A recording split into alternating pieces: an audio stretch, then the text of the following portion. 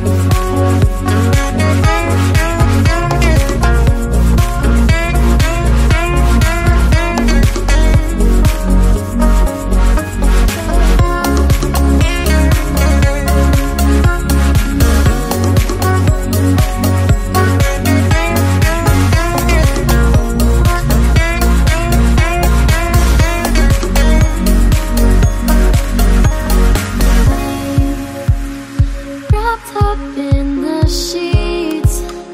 but exposed in